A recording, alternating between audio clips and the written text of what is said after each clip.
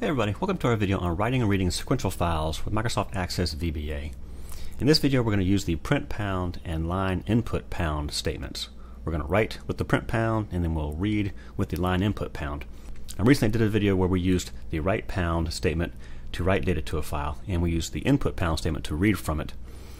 I'm going to use much the same VBA as we did in that last video so I'm not going to go over as much of the VBA in this video as I did in the other ones. I don't want to you repeat myself and, and, bore those who've seen the other video. So if you want to see that video, it is called Writing and Reading Sequential Files with Microsoft Access VBA. And at the bottom it says write pound and input pound. I'll have a link to that video in the description below. So let's head over to a form I built for this.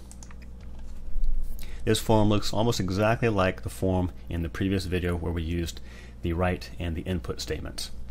At the top, we've got a button that allows us to choose the folder we want to put our new file in. I'm going to choose the test writes folder. And so we display the folder there. And here's a field where we type in the name of the file we'd like to create.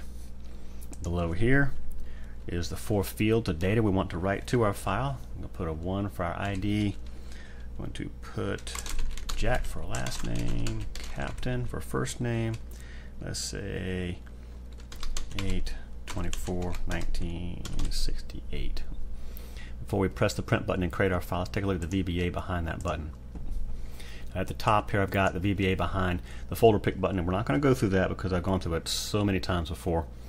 I'll have a link to the, in the description down below also to a, a video I did on using the file dialog box in Access. And here is the VBA behind our print button. Just like in the other video, we're going to start off making sure that all of our data on our form is filled in. We want to make sure that the folder we want the file to go to is filled in and the name of the folder is filled in as well as all of our data elements are filled in. So at the top we're making sure our folder and our file name are filled in. If they're not, we're going to give our users a message box telling them to enter a file or folder name. If any of our IDs, our last name or first name is not filled in, we're going to give them a message Again, they need to be filled in. If our ID is not numeric, we're going to give them a message and tell them to go make it numeric. The ID does not have to be numeric. I'm just doing that for this example. I want it to be numeric for this example. Below that, the date of birth. Of course, I want that to be a date. And if it's not, again, give them a message and tell them to fix it. Below that, we want to create a full path to the file name that we want to create by concatenating the folder, and the slash, and then the file name from our form saved in the variable called file name. We're going to get our first available, and get our next available file number from the, the, system using the free file function. We'll store that in this variable called file number. And then we're going to open our file name that we just built for append as, and then there's our file number. I'm going to use append again because if the file does not exist, it will create the file for us and then let us write to it. If the file does already exist, any write statements we have after this will simply add records to it.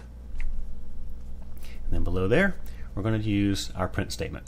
Print pound file num, comma, followed by a string. The print takes a string as input.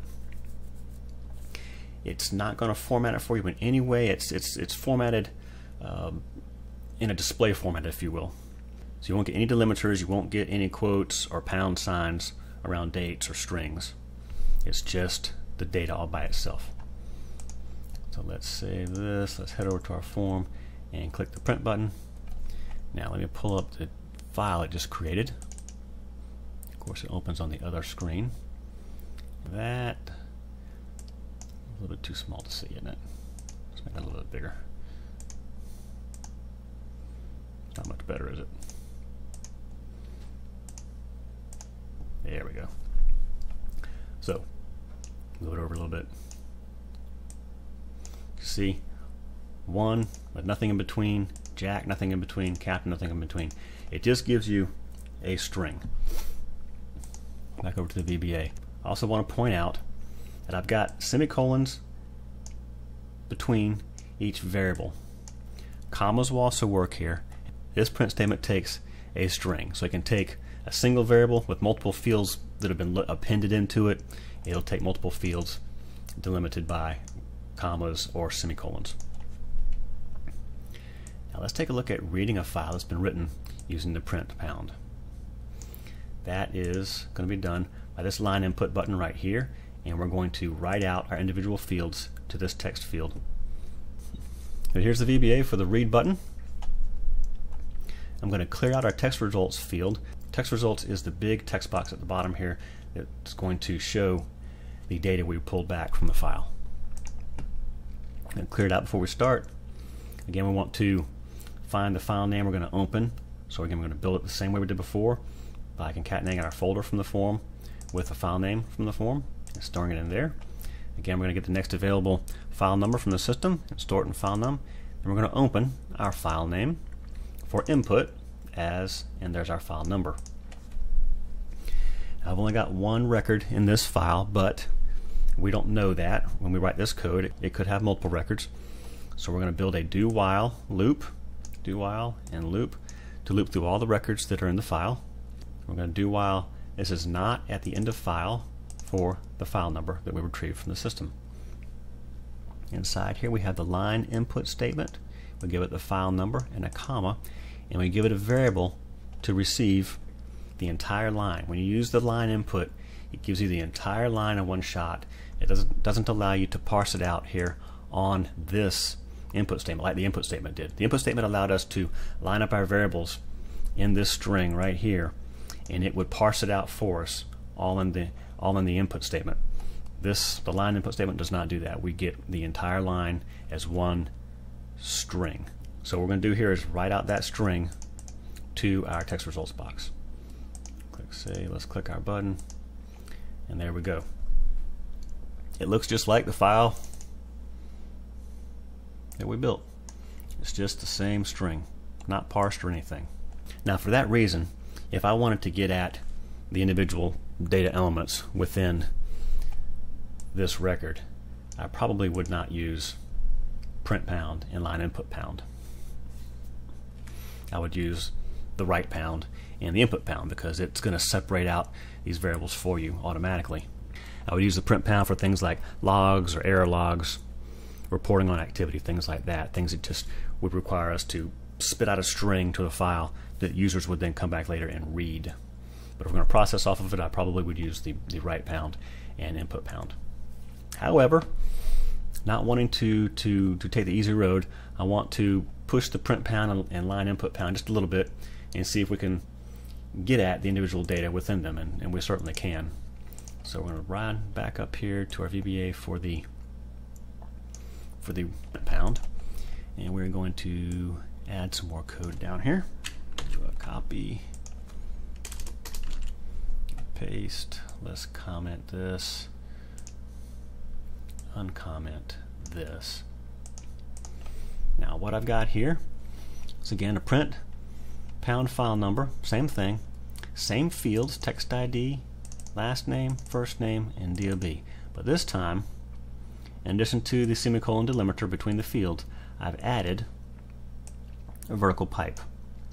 So I'm basically going to, to add a delimiter to the print record itself. Now why did I choose the vertical pipe instead of the comma? If you remember correctly in the in the write pound video, write pound automatically adds a comma to your record for you in between your variables. And then when you use the input pound, it parses that record for you based on where those commas are. Now the reason I don't want to use a comma this time is, let's take a look at our file again. Okay, here's our file. Notice we have a string here, and that's last name, another string, that's first name, then we have a DOB. They are not delimited in any way. Okay, there are no there are no double quotes around each field, around each string. There are no pounds around the dates. So what if one of the fields you're working with here comes from your database and it is a field where your users are allowed to write in free-form text. They write they type in some sentences. Well, you know that someone is going to use a comma in a sentence. I mean, most everybody uses commas in sentences. In the write pound, when they put a double quote around here and double quote around here, the input pound knows it can ignore commas that are inside the quotes because that's part of the string. But if we don't have double quotes to tell it that that's a string, it's not going to know whether this comma is part of the data or a comma that's supposed to be denoting the end of one field and the start of another field. So if you have a comma in your comment and you have another comma here, meaning it's the end of the string, it's not going to know the difference and it's going to mess up. You're, you're going to blow up your, your parse. Okay. So when we're using the print statement, I'm going to use the vertical pipe because I have never seen anybody use a vertical pipe in an ordinary sentence that they write. That's a pretty safe character to use as a delimiter. Let me close this file now. Uh, yeah, okay. In fact, we need to delete that file. Imagine me deleting it right now. It's off screen. So let's save this and let's write again to our file. And now, pull it up, and this is what we got. ID, vertical pipe jack, vertical pipe captain, vertical pipe date of birth. Now let's modify our read statement to deal with the vertical pipes. And what we're going to do here is basically we're just going to parse. We're going to read, we use our same line input statement, okay, and we're going to receive the entire string and this string line input variable, but then we're going to parse it out into its individual fields. Need to uncomment these guys.